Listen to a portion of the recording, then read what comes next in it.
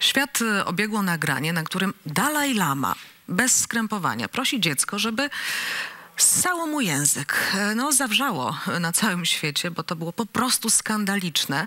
A ze mną e, dr Marek Michalak, był rzecznik praw dziecka. Dzień dobry. Dzień dobry. Co pan sobie pomyślał, jak pan zobaczył to nagranie?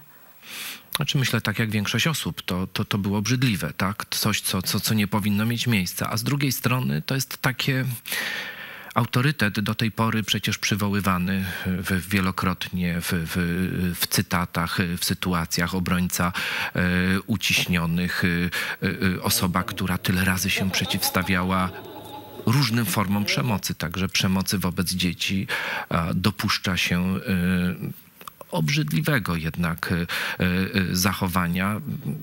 No, jakby nie tłumaczono tego, bo, bo, bo to- tłumaczenia są różne. Ja słabo je przyjmuję, tak szczerze mówiąc, bo oczekuję, że jednak trzeba e, Jeżeli tłumaczeniem zachować. jest, że to jest żart, żartobliwe zachowanie, dokuczanie innym w sposób niewinny, no to jak to może być do obrony? Znaczy nie, to nie jest do obrony, bo ja też słyszę, że to kulturowo, że, że, że, że tam na więcej można sobie pozwolić. No nie Dalaj Lama.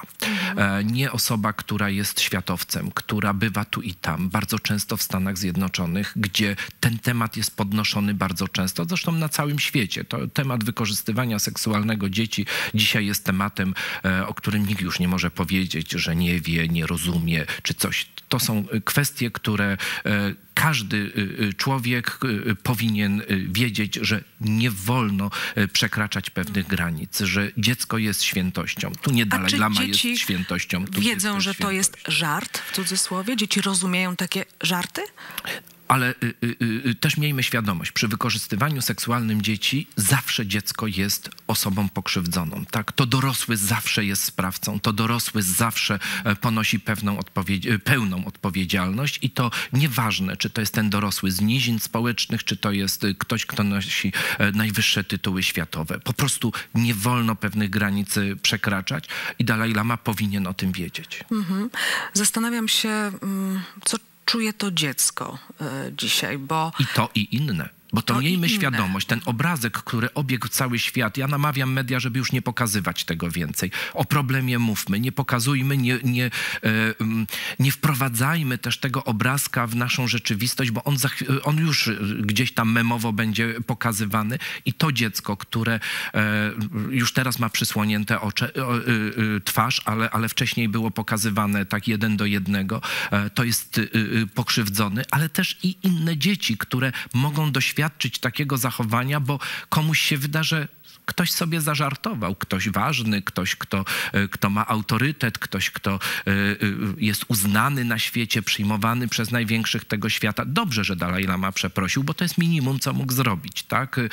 Powinien się jeszcze zastanowić, jeden z jego tytułów, Ocean Mądrości, powinien się zastanowić w tej swojej mądrości, jak można jeszcze zapobiec na przyszłość, jak można nie krzywdzić dzieci poprzez być może frywolność, e, ale coś, co, co absolutnie jest nieakceptowalne i to nie jest do obrony. To dzisiaj e, e, nie da się obronić tej sytuacji. To jest zła sytuacja, nie powinna mieć miejsca. czy to dziecko jest w tej chwili w jakiś sposób naznaczone? To jest już stygmat? Czy, Czy mam nadzieję, się zastanowić, że, że jest chronione. No Mam właśnie. nadzieję, że jest Jak? chronione, że, że tam, gdzie są jego rodzice, tam, gdzie, gdzie, gdzie jest, że e, e, ktoś pomyślał o tym, że takie dziecko potrzebuje wsparcia e, i, i, i potrzebuje ochrony, jak wszystkie dzieci na świecie. Tak? Mm. Znaczy nikomu nie wolno przekraczać granicy zwykłej przyzwoitości. Nie wolno. Dorośli wobec siebie nie robią takich numerów. No a, do, a tutaj niewinne dziecko, Dlaczego które, pozwalają sobie które wobec nie wie dziecka? publicznie, y, y, y, co ma zrobić, tak? Nawet, nawet, y, ale to jest jedna rzecz. A druga rzecz, bardzo oburzająca, to jest to zachowanie, ten rechot otoczenia. No więc właśnie, No, zastanawiał się pan, dlaczego nikt z zebranych wokół nie krzyknął, ale hola, hola, takich rzeczy się po prostu nie robi, bez względu na to, kim jesteś człowieku. Myślę, że to jest Tylko jest autorytet. rechot, y, tylko jest śmiech i oklaski. Myślę, że to jest autorytet, który miażdży, tak? Y, My często budujemy tutaj za życia jakieś świętości, których których absolutnie e, nikt nie może zwrócić uwagi, nie może e, skrytykować, nie może e, powiedzieć, że coś niewłaściwego, to nie święcić garnki lepią. I ludzie, którzy mają wielkie zasługi dla świata, także popełniają błędy. My też musimy e, e, e, w swoim sumieniu rozważyć, czy nie akceptujemy błędów, bo, bo to, co wielkie, oczywiście trzeba to docenić, za to trzeba być wdzięcznym, trzeba wspierać i doceniać, ale nikomu nie wolno krzywdzić drugiego człowieka i to nie kto inny, ale... To- te rzeczy od siebie. to Dalaj Lama mówił przecież o e, podmiotowości, o szacunku do drugiego człowieka, którego nie można nigdy e, e, przekroczyć. On tu przekroczył, przekroczył te granice. E, ja nie chcę rzucać kamieniami, bo to nie o to chodzi. Dzisiaj kamienujących jest bardzo dużo, ale na przykładzie tego, e, tej sytuacji trzeba powiedzieć, tak nie wolno nikomu. No właśnie, ale to też jest jasne, że jeżeli widzimy taką sytuację publiczną, e, zaczynamy się zastanawiać, jeżeli ktoś pozwala sobie w tej sytuacji publicznej, gdzie są kamery, gdzie jest kilkadziesiąt czy ponad sto innych osób, to co się może dziać, kiedy tych kamer i tych ludzi nie ma?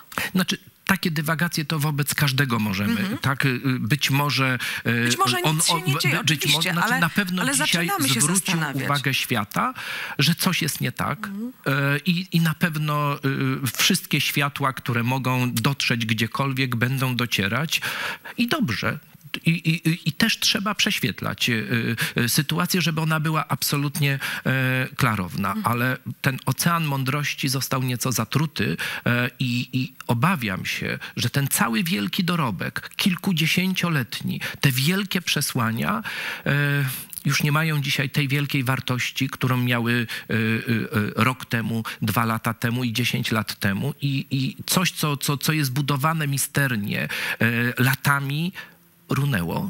Y, I odbudować będzie bardzo ciężko. Tutaj to jest smutna da. sytuacja, bo to jest smutna dla ludzi, którzy wspierali, którzy e, pomagali, którzy się identyfikowali, I przecież dla dla całego tego grona dziecka. też wyznawców i wszystkich dzieci świata, w tym tego najbardziej. Powiedział pan, że y, dorośli y, nie pozwalają sobie na zachowania wobec siebie, wobec innych dorosłych, ale pozwalają sobie na mm, takie właśnie, No właśnie, historie wobec dzieci. Z czego to może A wynikać? Z niskiego statusu dziecka. On i tak jest już dzisiaj wyższy. Tak? XXI wiek już to nie jest wiek XX czy XIX.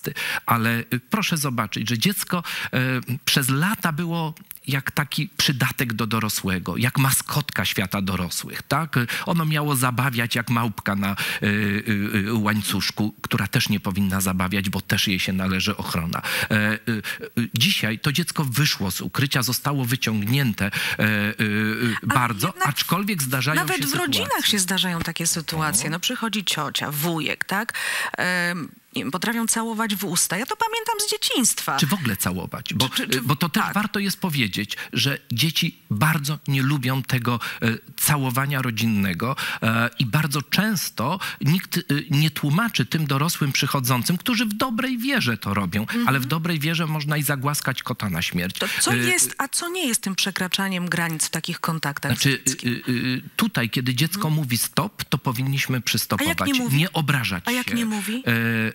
To zobaczyć, czy ono nie jest wycofane. Czy on, znaczy tu, y, y, y, y, abstrahując od tej sytuacji, która miała miejsce, Tak, bo, to, bo, tu, bo tutaj w ogóle czy to, y, y, to ona nie powinna mieć miejsca, ale w tych rodzinnych Mhm. historiach dobrze jest wsłuchać się w głos dziecięcy. Dobrze dać możliwość dziecku też powiedzenia, ja tego nie lubię, ja tego nie chcę. E, I, i uszanować to, bo, bo często jest tak, że ono y, pierwszy raz wypowie, ale później się mówi, ale coś ty, to y, y, wiesz, to jest w rodzinie zostaje, to no, chciał musisz pewne rzeczy się przemóc. Nie, do naruszania cielesności nikt nie musi się przemóc, tak? Y, Można coś przemilczeć, kiedy mamy inne zdanie w danej sytuacji, aczkolwiek ja jestem za tym, żeby też je wyrażać, żeby od najmłodszych lat uczyć dziecko asertywności, asertywności e, i gdzie najbardziej? No właśnie w domu, bo jak my nauczymy dziecko asertywności w Jasne. domu i ono wobec nas będzie odważne i będzie mogło powiedzieć nie, stop, ja na to się nie zgadzam, w tym mam inne zdanie, tego bym nie chciał, y, to ono na zewnątrz y, będzie bardziej mogło się obronić. I może nawet w Jak takiej też sytuacji jest niesamowicie trudnej. ważne, żeby w tym pu- publicznym dyskursie nie pojawiały się usprawiedliwienia. Mhm. Pa, pamięta pan doktor e, e, prokuratora Stanisława Piotrowicza, który usprawiedliwiał księdza e, pedofila. E, Prokurator Piotrowicz, późniejszy poseł PiSu, teraz sędzia Trybunału Konstytucyjnego. Ten ksiądz został skazany, ale kiedy on mówił, że no przecież to były niewinne pocałunki, pocałunki w usta, takie dawanie ciumka. Znaczy, to jest też nie do obrony. Tak, to absolutnie, zresztą to już ocenił sąd. Y, y, y, e, mm, Relatywizowanie jakiejkolwiek przemocy wobec dzieci e, jest absolutnie złe. I tutaj y, tu trzeba jednym murem stać. Zresztą pani redaktor kiedyś na moje zaproszenie dołączyła jako ambasador kampanii e, Reaguj na przemoc wobec No, dzieci. Masz wierzę. prawo. I wszyscy powinniśmy reagować. Już dzisiaj też mając świadomość, nie tylko masz prawo, masz obowiązek, e, bo zostały wprowadzone przepisy, zresztą e, na wniosek Rzecznika Praw Dziecka, kiedy pełniłem ten urząd, które każą za niereagowanie na krzywdę wobec dzieci. Tak? Panie doktorze, chciałabym jeszcze o jedną rzecz zapytać, bo e, mu- mówimy o tych narzędziach, w które to my musimy, my dorośli musimy uzbroić dziecko. E, Wracając jeszcze do tego filmu, wiadomo, że ten chłopiec nie wiedział, jak ma się zachować. On po prostu przystał na te Ale propozycje. wie pani, że dorosły by też nie wiedział? Być może by Nie nie jeden wiedział. dorosły by też właśnie nie wiedział. My, mądrzejsi dorośli. Dlatego podwójnie Co wyposażyć dziecko, żeby ono wiedziało, jak się w takiej sytuacji Asertywnie. zachować i jak powinno się zachować? No właśnie w tę Mhm. umiejętność mówienia nie, wtedy, kiedy dziecko czuje, że chce to powiedzieć. I to powinno być od najmłodszych lat. E, To jest y, tak na prostym przykładzie. Każdy chciałby mieć takie grzeczne dziecko, ułożone, y, zawsze zachowujące się właściwie. Znaczy, tak jak my chcemy. Tak jak prawda? my No chcemy, bo właśnie. Mhm. grzeczność to jest w ogóle bardzo nie, nie, nie, nie, takie niejaskrawe y, pojęcie. Po czym chcielibyśmy, żeby to dziecko wyszło na zewnątrz i też umiało y, o siebie zadbać.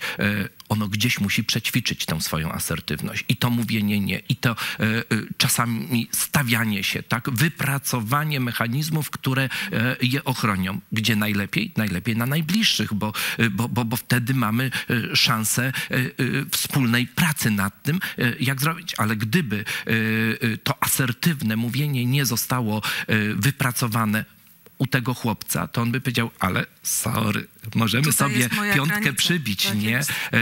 A, y, Tylko miejmy świadomość, to nie jest wina dziecka, że ono tego nie potrafi, że ono pod y, y, światłami, kamerami y, y, nie umiało y, wycofać się i uciec. Jasne. Wina jest zawsze dorosłego i w tym wypadku to jest wina i tego dorosłego, który zachęca i który, który doprowadza do sytuacji i tego całego grona klakierów dookoła, bo ktoś powinien wstać powiedzieć stop, stop, stop, przekraczamy pewne granice, nie pozwalamy na to. Dokładnie, tak powinno być. O jeszcze jednej sytuacji chciałabym na koniec e, porozmawiać. Ośmioletni Kamil z Częstochowy, dziecko, które od tygodnia walczy o życie, skatowane. E, znaczy, Aż nie umiem sobie wyobrazić, co to dziecko przeżyło ze strony dorosłych, matki i ojczyma. E, Jest w śpiączce farmakologicznej, dlatego żeby mogło nie znieść bólu, jaki przeżywa. Tam zdaje się wszyscy dookoła zawiedli, bo ojciec, biologiczny ojciec tego dziecka zgłaszał sprawę em, opiece społecznej, kuratorowi. E, Czy pan oczekiwałby w tej chwili od Rzecznika Praw Dzie- Dziecka obecnego jakiejś reakcji? Znaczy ja mam nadzieję, stało? że ta reakcja jest. Może, może, może, Może nie, nie wiemy, ale to jakby to jest naturalne. To ona powinna być z urzędu, bez e, czekania na cokolwiek. Tam powinna być e, e, sprawdzona cała ta sytuacja, bo e, niewątpliwie systemowo coś tam zawiodło, e, ale i tak przyzwoicie, tak? Ludzku. e, tak po ludzku, bo to nie da się, żeby dziecko doznało takiego, takich krzywd i nikt dokładnie nic nie słyszał i nikt e, Niektóre zupełnie rany nie, są nie sprzed wiedział. miesiąca, połamane Nie, nie, to- to- Szkoła nie zauważyła. Znaczy absolutnie y, y, y, mam nadzieję, że śledczy też to, to, to przeprowadzą, bo to jest, to, jest, to jest tragedia, nie pierwsza. E, Obawiam się, że nie ostatnia, e, ale y, na pewno winni powinni być ukarani i na pewno sprawa powinna być bardzo dokładnie wyjaśniona na różnych szczeblach. Tym bardziej, że... to jest dziecko z niepełnosprawnościami. Ono nie komunikuje się w sposób e, taki e, bardzo zrozumiały z, z otoczeniem, więc wymaga Ale co, ten przykład y, y, też pokazuje? Nie wolno dziecka umieszczać najniżej w hierarchii społecznej.